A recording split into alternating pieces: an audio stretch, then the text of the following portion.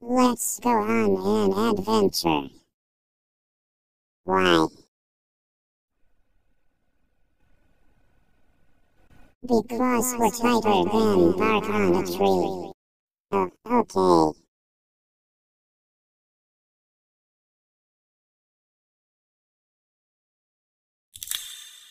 What's this? A tasty treat next to my feet.